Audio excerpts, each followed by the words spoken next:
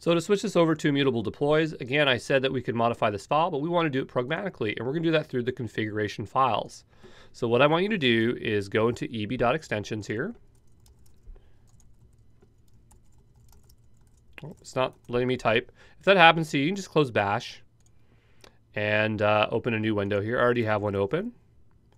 Um, and I'm just going to go into EB extensions. I'm going to make a new file, and I'm going to call this um, 000 deploy.config. I just want it to be ahead of those other ones. I don't think that order really matters, but it's just what I want to do. Um, oops, it's not make, we want to do touch. So we'll touch a new file there. And what we're going to do here is we're going to set option settings. And we're going to do AWS Elastic Beanstalk here. Um, and we're going to do command. And what we're going to do is set the deployment policy to be immutable. And then what we're also going to do is set health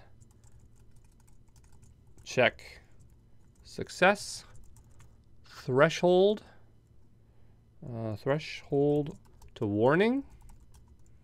And then we're going to set ignore health check to true. And we're going to set timeout to 600 here. So I'm just going to read this over very quickly here. Make sure I didn't make any mistakes here. Elastic Beanstalk, that's correct. Immutable or deployment policies, immutable, that looks right to me. Health check status threshold, that looks good to me. Ignore health check. So we're going to say over here what we're doing, we're just we're actually checkboxing that off, okay? And we're pretty much setting the same settings that are here, except this is going to be warning. Um, and that should make the deploy really fast. Um, and also, while we're at it, let's just make a superficial change. So when we do deploy, we can actually see if uh, the effects have uh, taken effect here. So I'm just going to go to our actual application here. I'm going to just change this to Study Sync.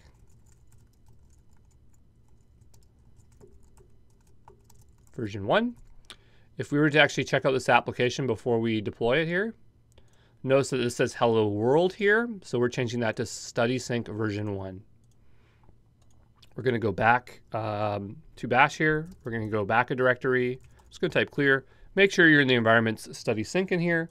And we're going to add all the changes. So we made, we modified that file. We added a new configuration file. So I'm going to add them both. Git commit hyphen m immutable deploys. I'm going to push those changes.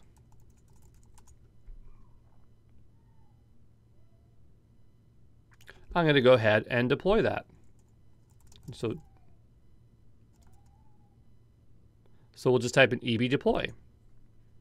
And right away, it should start um, switching over to immutable deploys because it's going to pull those configuration files, look at them, and then it's going to decide on what to do. So if I think we just wait here a moment, it's actually going to tell us. And we can see that I actually have uh, an error here. So I'm going to go ahead and abort that. So I'm just type eb abort. Um, but we can see contains invalid key option settings.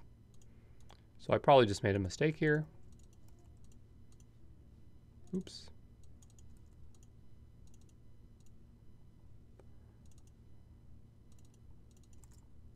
Yep. We'll try this again, EB deploy. Oh, well, we have to commit those changes.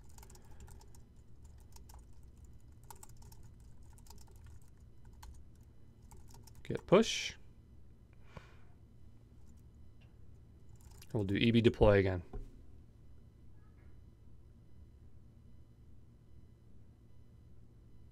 And so what we're looking for is to see if it will actually say that it's doing an immutable deploy.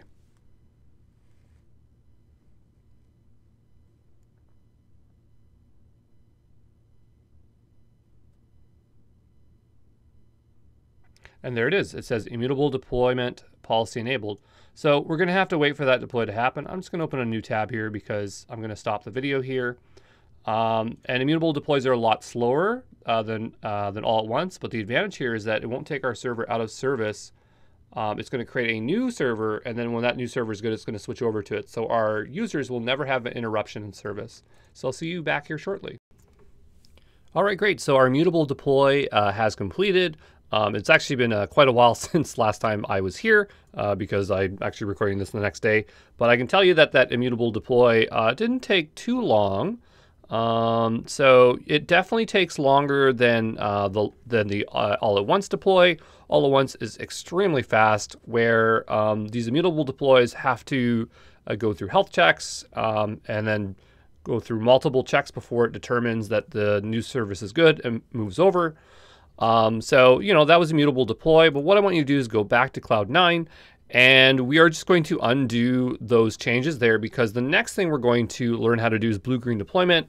And I don't want these immutable deploys slowing down our development here. So uh, just to get rid of this immutable deploy stuff, all we're going to do is remove that file there. So I want you to type in rm and we're going to uh, do tilde here, environments, uh, study sync, uh, EB extensions, 000 config deploy, and then we're just going to add those changes. I'm going to make sure that I'm in that study sync directory there because it looks like I was in the wrong uh, wrong place there. And we will do um, uh, git add all, git commit hyphen m, uh, revert back to immutable uh, deploys. Okay, git push. And just before we do anything else uh, here, I just want to go back um, to uh, the environment here and just show you under your configuration that it should have switched to immutable deploys.